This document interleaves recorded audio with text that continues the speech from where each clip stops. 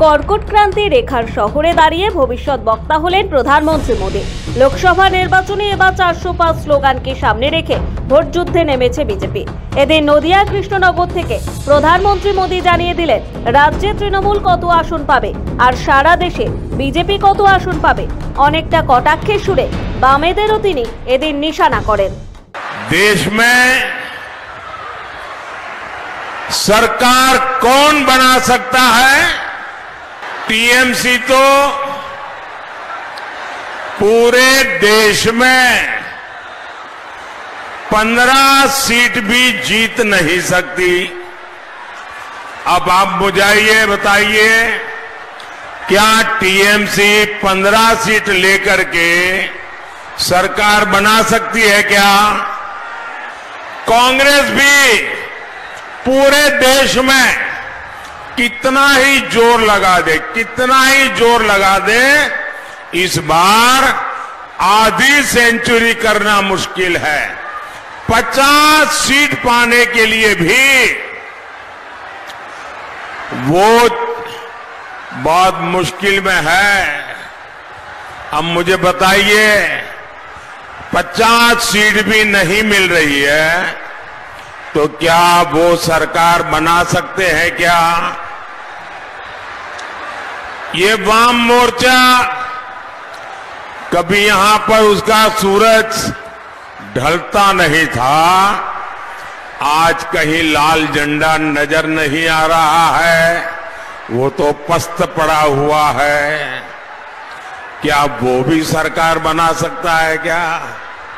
अगर कोई सरकार बना सकता है तो वो सिर्फ़ और सिर्फ़ बीजेपी एनडीए की सरकार ही बनेगी और इंडी वालों की लड़ाई बस इस बात पर है कि लोकसभा में विपक्ष में जो दल जीत करके आएंगे उनमें सबसे दल, बड़ा दल कौन बने ये लोग इसी के लिए लड़ रहे हैं লোকসভা থেকে বহিষ্কৃত মৌহা মৈত্রী শহরে দাঁড়িয়ে কেন বিজেপি প্রার্থীদের জেতাতে হবে তার ব্যাখ্যাও এদিন দেন প্রধানমন্ত্রী নরেন্দ্র মোদী अगर आपके यहां बीजेपी एनडीए के सांसद होंगे तो और तेजी से विकास होगा बीजेपी एनडीए के सांसद अपनी मेहनत से अपने क्षेत्र में पांच पांच दस दस हजार करोड़ रुपए के प्रोजेक्ट ले जाते हैं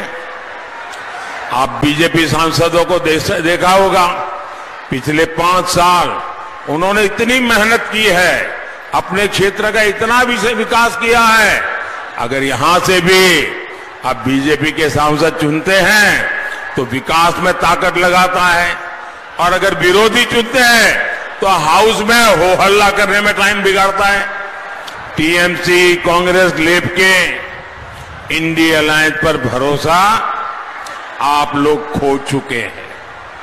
आप चाहते हैं यहाँ टीएमसी के तोलाबाजों और महिलाओं पर जुल्म करने वालों को कड़ी सजा मिले। जिस टीएमसी ने गरीब का राशन तक नहीं छोड़ा, उससे उम्मीद ही क्या की जा सकती है? কৃষ্ণনগরের রানিমা বিজেপি প্রার্থী হতে রাজা কৃষ্ণচন্দ্রের বদনাম করা হচ্ছে বলে অভিযোগ করেন প্রধানমন্ত্রী মোদী তিনি রাজা কৃষ্ণচন্দ্রের অবদান স্মরণ করে বলেন राजा कृष्णचंद्र जी ने उनका सुशासन उनकी भारत भक्ति की विरासत है जिन्होंने हमारी आस्था हमारी संस्कृति को बचाने के लिए काम किया यहां के विकास के लिए अपना बहुत कुछ दान कर दिया लेकिन टीएमसी वाले ऐसी विरासत को ही बदनाम करने में जुटे हैं। आज देखिए, देश के इतिहास में शायद ही ऐसी कोई सरकार रही जिसको आए दिन कोर्ट को याद दिलाना पड़ता है कि उसकी ड्यूटी क्या है। टीएमसी सरकार ऐसा कोई काम करती नहीं जो संविधान और कानून के मुताबिक हो, जो लोकतंत्र के मुताबिक हो।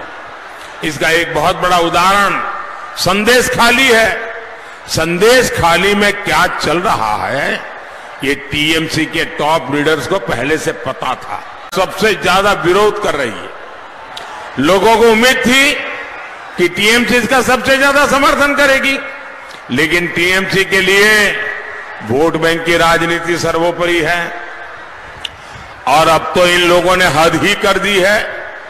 ये लोगों के बीच सीए के बारे में दुष्प्रचार भी कर रहे हैं। टीएमसी को किसी पीड़ित हिंदू को अधिकार मिलने से एलर्जी है, लेकिन टीएमसी को यह पता होना चाहिए कि वो सीए को लागू होने से रोक नहीं सकती। और मैं सीए के माध्यम से भारत की नागरिकता मांग रहे हर व्यक्ति को आज विश्वास दिलाता हूँ, उन्हें उनका हक मिलकर रहेगा। उन्हें हर सरकारी योजना का लाभ मिल करके रहेगा और ये मोदी की गारंटी है কৃষি প্রধান নদিয়ায় দাঁড়িয়ে প্রধানমন্ত্রী পাট চাষ ও শিল্প নিয়ে তৃণমূল সরকারকে কাঠগোড়ায় দাঁড় করান একই সঙ্গে তিনি জানিয়ে দেন কেন্দ্রীয় যোজনা রাজ্যে লাগু না করতে দিয়ে রাজ্যবাসীকে পিছিয়ে দিচ্ছে তৃণমূল সরকার নদিয়া থেকে সায়ন মোদকের রিপোর্ট সময় কলকাতা